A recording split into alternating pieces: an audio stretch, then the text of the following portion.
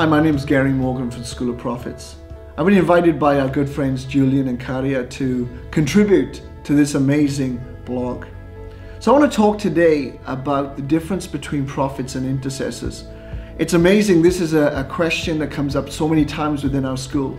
And a lot of times we have people attend our school who think they're prophets when actually they're intercessors or they're intercessors and they think they're prophets. So I want to share something with you today that's going to give some clarity and also as well some framework and hopefully will unlock you to discover who God's called you to be. You see, a prophet and an intercessor receive from the same stream of revelation. It's kind of like an iPad versus an iPhone. They both receive in the same way, but their display and application is different. You see, a prophet proclaims, but an intercessor prays. I kind of say it like this a prophet speaks to the people on behalf of God, but an intercessor speaks to God on behalf of the people. And it's amazing a lot of times when we begin to discover that prophets who are really intercessors proclaim things they should be praying. And intercessors who think they're prophets are actually praying things they should be proclaiming. And so what we find is, is that the body of Christ is robbed from these two powerful ministries. You see, one of the things I realize about prophets is prophets face people, but actually intercessors face God. And so we see this really um, in the in the role of prophets, and we see them in the role of intercessors.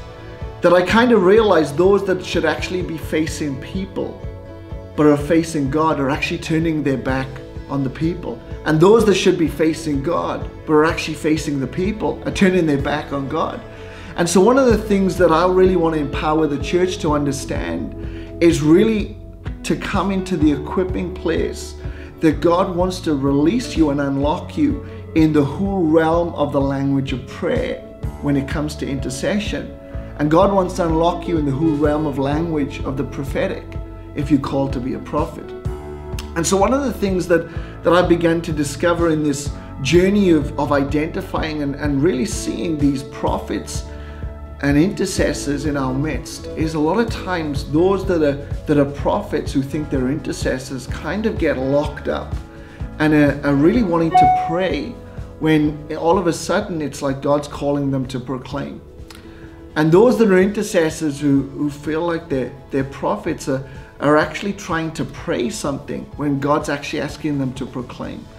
And so I want to encourage you that if you find yourself in this place of like, am I a prophet or am I an intercessor? I want to encourage you to come before the Lord and really begin to discover is my language one of prayer or is it one of proclamation? Is it one of speaking to God or is it one of speaking to people? You see, intercessors understand the plans of the enemy, but prophets understand the plans of God.